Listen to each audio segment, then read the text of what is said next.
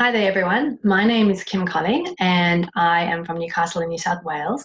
Something I'm really, really passionate about is budgeting. I'm quite surprised to find that in many, many households, people just haven't been taught the basic budgeting skills, how to create budgets. And I know heaps of people have been read books like The Barefoot Investor, which a lot of my strategies are based on, but they haven't um, got that background skill to even build up that budget. So they love the concepts in there, but they struggle to put it into action. So I've been trying to do a series on how you can actually put that into action by just showing you a bit about what I do with the budget. So hopefully that can help you and add some value to your life where you can actually try and run your household budget a bit better. Um, hopefully my spreadsheet won't be too confusing for you. If you haven't seen episodes in one and two, please go back and watch those first so that it kind of puts us all into perspective. Because what I'm going to do with this one is jump straight into the spreadsheet, showing you how I can you can build up your budget. What I just want to say before I forget is if you're getting any value out of this, please do me a favor and like my video here on YouTube. Please subscribe to my YouTube channel. And if you'd like a copy of the of the spreadsheet, a free copy of my spreadsheet, feel free to you need to do that. You need to subscribe and like my video. But if you can then email me or connect with me on Facebook and just tell me that you've done that and that you'd like a copy of the spreadsheet, and I will get that off to you um, as is. And you can then use that and tweak it to your own liking um, to match your own circumstances and help your budget there. I'm also open to doing questions and answers. I'm going to probably do a Q&A session sometime after this. So if you've got any questions, once you've seen this video or any of the past videos, please just get them to me on Messenger or on email, and I'll put them all together to do a Q&A session to kind of follow up and pull this whole series together. All right, so what I'm going to do first is share my screen. Just bear with me a minute while I do that and pull up my budget. So hopefully now what you can see is a big spreadsheet with lots of yellow on it. That's cool. What I've done in designing this is create, the yellow is the bit where you're gonna input your information as you build up this budget. So just starting off with the income stuff first, the, the complex bit is expensive, but let's start off with income. What you wanna do, we're all on different pay cycles. Some people get paid weekly, some get paid fortnightly, some monthly. There's a slot there for a column for each different kind of way you get paid. So put in for parent one and parent two what you earn. So in this example, I've put in parent one earns four and a half grand a month, parent two is earning $1,400 a fortnight. What you can see then is that kind of moves over to where then formularize to annualize that, split it into monthly, fortnightly, and weekly. Because that way you can look at your income and your expenses in the same, um, whichever kind of pay cycle you want to to split out your expenses into different pools of money. So coming to the expenses, in the Barefoot Investor, if you've read that or if you've seen in my last training, um, which I encourage you to go back and watch that. The expenses typically get split up into four buckets in the Barefoot Investor. So he has four kind of overall buckets of money. One he calls the blow bucket, which is your everyday expenses, all your bills, your school sports, everything that you've got to pay just to kind of live. And the ideal there would be 60% of your income. Um, in your splurge, that's kind of your fun account. That's for social, it's for going out, it's for fun, having your hair done, kind of whatever you choose. But it's more that instant fun stuff, the quick short term stuff. He reckons about 10% of your income.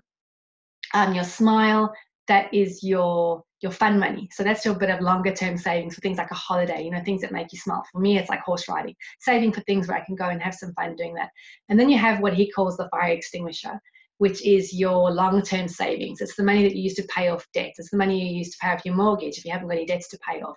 Um, it's kind of your, I call it my slush, it's kind of what's left at the end, but you want to have about 20% of your money going into that because that's your how you get out of debt a lot quicker money. So you can see here on my spreadsheet, I've got your ideal amounts as I've built up, which you'll see how it ties into the actuals in a bit. So I've kind of in there put that 60% of this person's income should go, should be their, their blow bucket. Now, for me personally, and this I'll explain a bit in my last video, for me personally, just having one bucket of money for all those expenses, I personally don't like the way that works on its own. So I've actually set up a whole lot of sub accounts under that category. So I'm still aiming to have 60% of my income going into all those expenses, but I like to have a separate a separate sort of bank account or bucket of money for my bills, a separate one for my everyday, which is like my groceries and fuel and stuff like that, a separate one for sports and music and school and pets. Because that way, for me, I'm not going to be going, oh, yeah, there's heaps of money in this blow bucket. Let's go and buy more groceries when actually some of that needs to be saved for electricity and stuff. So you can kind of set up however you want. I really like having my bills bucket of money because that way when a bill comes, I'm like, yep, no problem. You know, Shane said to me the other day, I need new tires, no problem it's in the, it's in the bills bucket. In fact, if groceries are over and we don't have enough money for groceries, it's irrelevant because I've got the money there for the tires for the car in, in the bills bucket. So how you can build up your expenses. So that was just sort of the high level of the, of the four categories. The starting point really is all this yellow down the bottom here. So I've put in expenses that I think are fairly common to most households. If you get the spreadsheet, you can add in lines, you can add in categories, you can take things out that aren't applicable. But I try to just build up a basic budget for making up some numbers for an average family. So in this budget, I've put in that they pay a monthly mortgage payment of $1,500. Then moving into the bill section, you know, there's electricity, which typically is paid quarterly. I've put in 400 bucks a quarter. Rate is quarterly, I know, 500 bucks. Water is actually four monthly, which is just weird. Um, so I've put that one in there with a four monthly cycle, which is say $300 a, um, every four months. I've put in a, a random number of $100 a quarter for gas. House insurance, for me personally, I do it annually, so I've put in $800. You might do your house insurance the monthly payment, so then you'd fill it in the monthly section over there. You know, you could delete that, that one and put in, you know, 80 bucks a month for house insurance, you know, um, whatever works for you.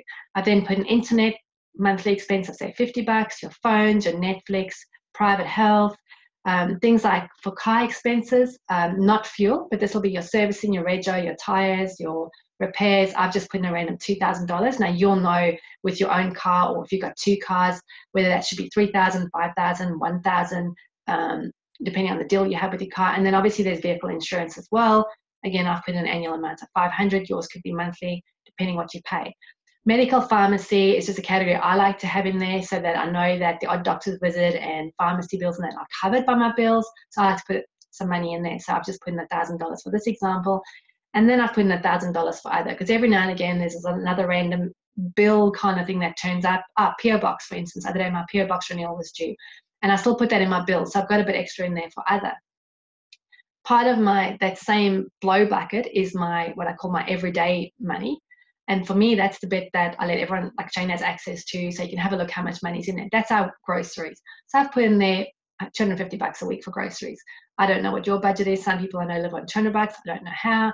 Ours is more like 300. Other people talk to 350. So you put in what your grocery, average grocery spend is a week.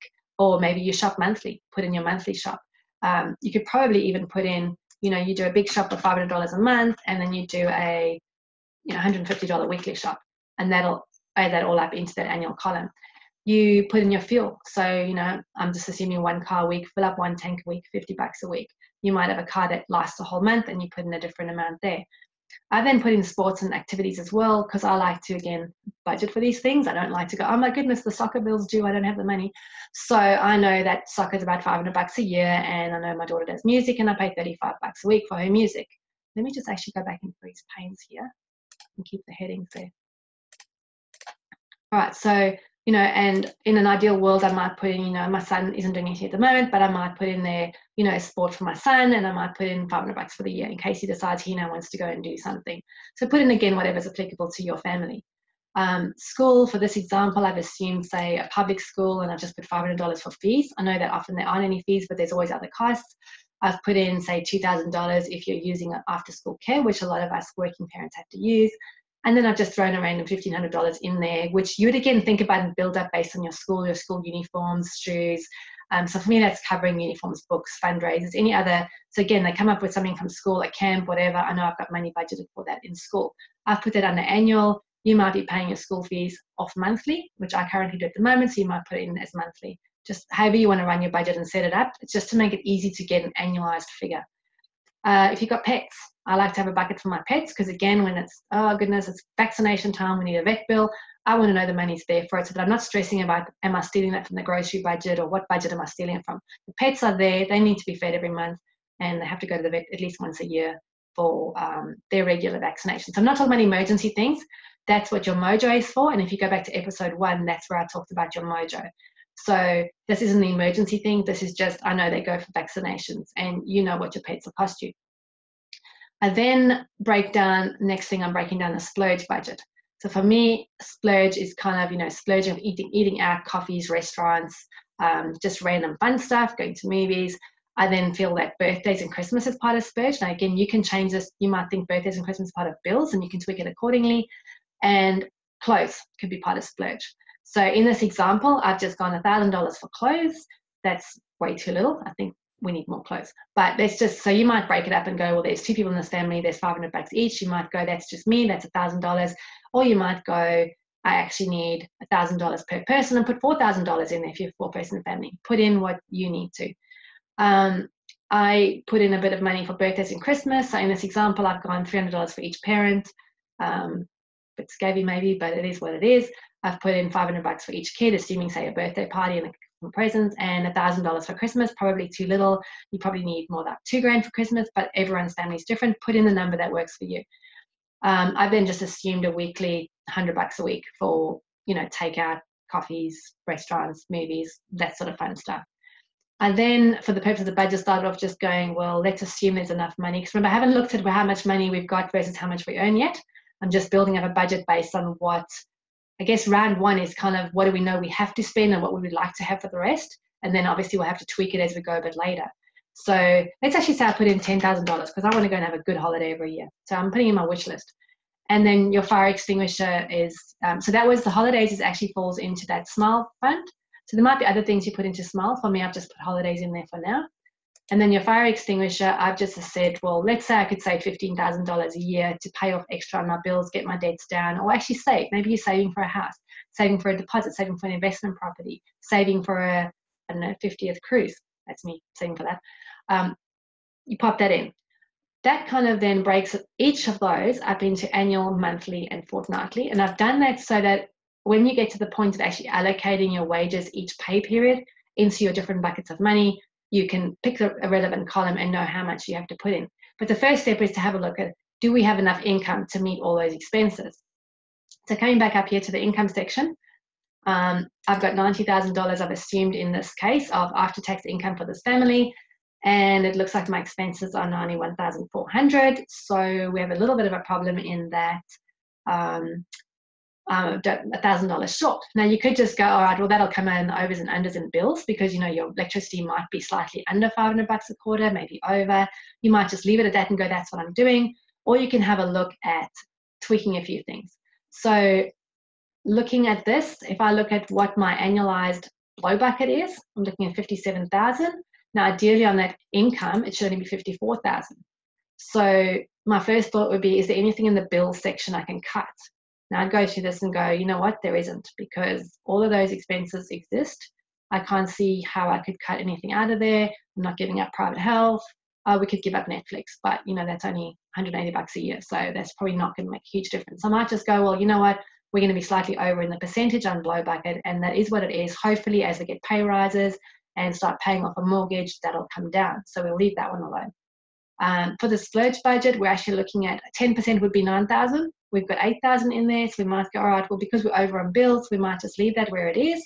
If you found you actually had some money left, you might go, you know what, I might up that social fund. Maybe we need a little bit more for, um, you know, for birthdays, Christmas, we might have to put in 2,000 for Christmas. Or you might go in, if you have put in two or 3,000, you might go, we need to cut that because we're over. Then looking at small, so savings for holidays. Okay, so I've put in 10,000 there obviously my budget's not working at the moment, so maybe I have to go down and go, well, let's actually go, let's save, you know, maybe eight grand for holidays. And we'll put that in there, that at least makes our budget work. We've now got a bit of change. We've got $960 left out of our annual money that we get in. And we can go, all right, so we're actually slightly under the 10% there, but we know that it's because we're over on bills. It's what it is. And then we should be saving, you know, 20%, so 18,000 in theory for fire extinguisher in the case of this family, because of their bills, you know, the kids are in school, they have to use OOSH, they've got a mortgage, it's not possible. But a $15,000 savings a year is reasonable. So you can go around and tweak and play with your budget now, go and change different expenses and that to make it work. Um, we've got that extra $960, which you might just go, oh, we'll just keep that as spare, you know, for bills. So I hope that all makes sense to you. If not, rewatch it again. If you think it's too confusing, please do message me and I can do this again, hopefully a bit more simplified. I've tried to keep as simple as I can. My brain's very, very analytical, and this is kind of how I work. So, putting it kind of together then, so let's just say you, on a monthly basis, want to allocate money into your different pools, buckets of money. So, you might just look at this monthly column here and you go, all right, so on a monthly basis, we earn $7,500. Each month, I'm going to put 1500 into the mortgage bucket, 1328 into the bills bucket. So, you might round that to 1350 you're going to put 1366 into your everyday for your groceries, 193 into your sports, 333 into your school. You get the you get the picture. You put all these different things into your different bank accounts. I use ING. It's, he talks about it in the book. It's just an easy, it's an easy bank to have multiple savings accounts in, and then you earn interest on every account, which is fantastic.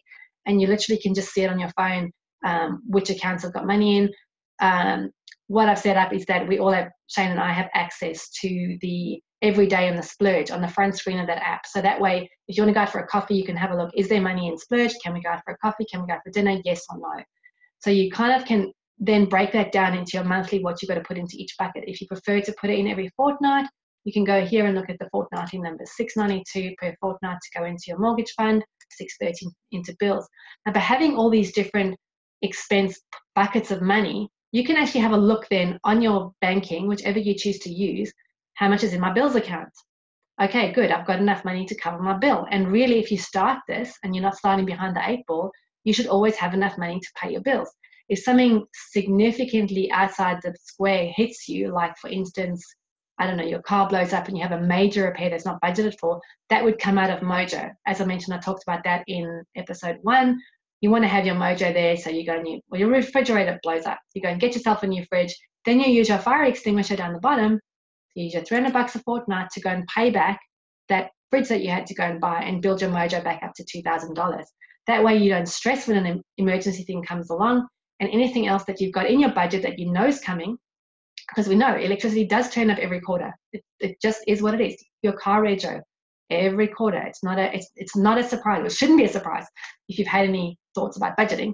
Um, you've always got that money to pay those bills and those expenses. So that's pretty much the spreadsheet in a nutshell. I'm going to stop sharing now and come back to looking at you.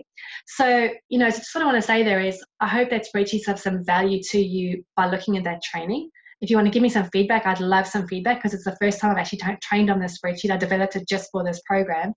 And if you want a copy of that free spreadsheet, as I said, if you can subscribe to my YouTube channel, like my video, um, if you're on Facebook, maybe like my videos on there and share them if you're getting value out of them as well. And um, shoot me an email or connect with me on Facebook and let me know you've done that, you've subscribed and you've liked, and I will send you a copy of the spreadsheet for free. If you want me to take out all the columns and you say, I just want to see the fortnightly column, I can do that for you too. That'll take two seconds. And um, so I can send you one that actually works for you. So my email address is kim.a.colling at gmail.com. You'll find it in the commentary below as well. Or find me on Facebook under Kim Colling and um, connect with me. Let me know what you think. And as I said, I hope this has been of great value to you and I can help you with your budgeting. Thanks for watching. Have a fantastic day. Bye.